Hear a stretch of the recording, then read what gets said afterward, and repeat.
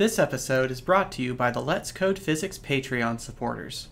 So we talked a little while ago about lists in Python, and lists are really one of the most powerful data structures because there's so much that you can do with them. I wanted to kind of go over uh, some of the more advanced features. As a reminder, you can start off any list with just an empty list, just an open bracket, close bracket, and then you can append stuff to that list. That is one way to set up a list. Here, what we're doing is uh, creating, I think this is five boxes at different x coordinates, and we're appending those boxes to the list. So when I run this, it's going to create those boxes as usual. And the thing that is different is that each of these boxes is an item in a list now.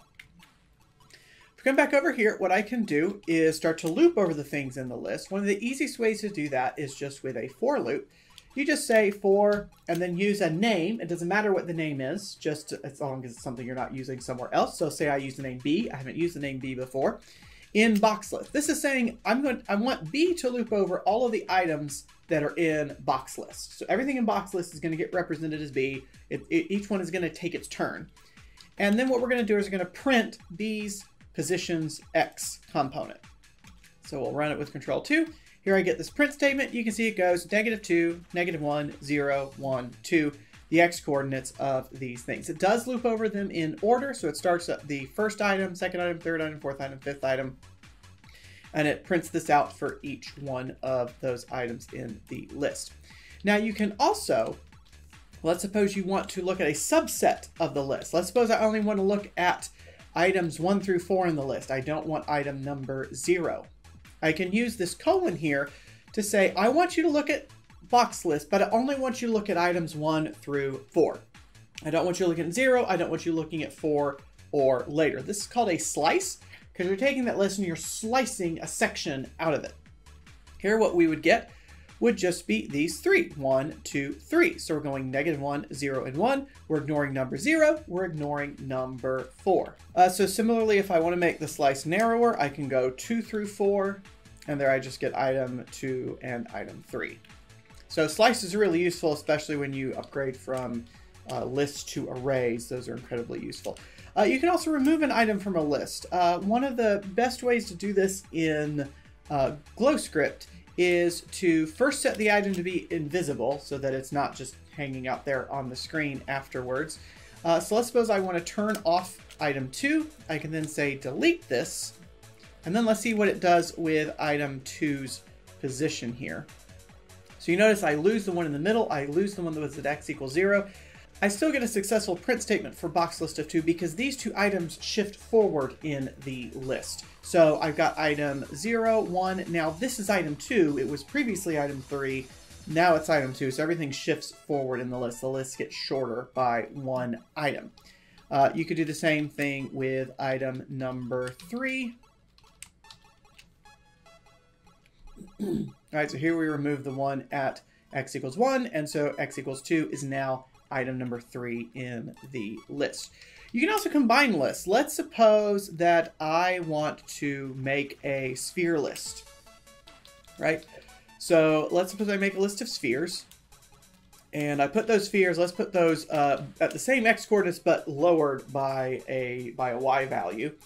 And uh, so we'll have a, a box list and a sphere list. What I'm going to do is I'm going to make a list called all list, or I'm taking box list plus sphere list. What that's going to do is create for me a master list from the items in box list and the items in sphere list. So if I loop over the shapes in all list, I should get 10 things printed out. I should get 10 vectors printed out. And lo and behold, that's what we get. Because I have my boxes up here, my spheres down here. I combine the two lists together. So that plus sign lets you add the items of the list together. It lets you append this list to this list. I guess I should say it allows you to extend the list together uh, because you can have a list in a list. So I, I probably shouldn't say append there. Uh, let's see, you can also ask whether a value is in a list. So let's suppose uh, we make a list of numbers here. This is most often done with numbers. Um, let's suppose I make this list that has 1, 2, 100, negative 5, 3, 4, 5, 1, 11. No 6s in there, right? We're going to check for is 6 in number list. And we get a false because 6 is not in number list. Uh, let's try one that is in number list. Let's try 1. and true. One is in number list. So this in is a wonderful little logical operator to help you check for whether things are in, uh, in a given list. Uh, there's other built-in functions we can use. So for example, there's the length function, len.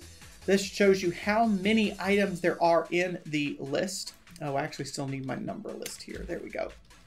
So for example, the length of the box list is five. There's one, two, three, four, five boxes. It's a very handy function, especially if you spell the word length correctly. There we go, that's better. Uh, another function that's useful is max. This looks over all of the numerical values in list and returns which one is the biggest. So the maximum number in number list is 100. There's also min that will look over the items in this list and pull out the minimum.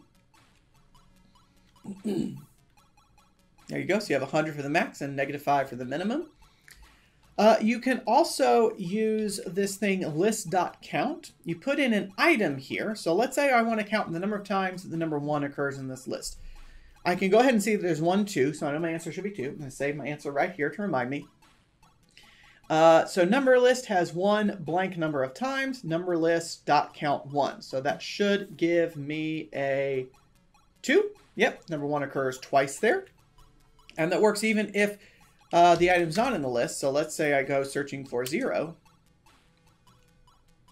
It will count for me 0 because it doesn't occur in that list.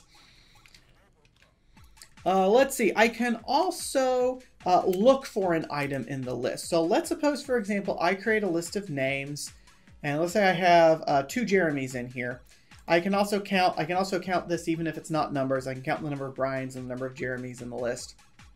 Yeah, there's one Brian and two Jeremys in the list. I can also add an item into the middle of a list. So let's suppose I want to add Steve into the second position in the list. So what I'm going to do here is I'm going to print the name list, the original version here. We're going to insert Steve into the second position and then print the list here again to make sure that he gets added. Sure enough, there he is in the 0, 1, 2, the second spot. Notice Steve was not here originally, then we added him in here in the second index spot. So that's a little more that you can do with lists. Thank you so much for watching. I will see you next time. Bye-bye.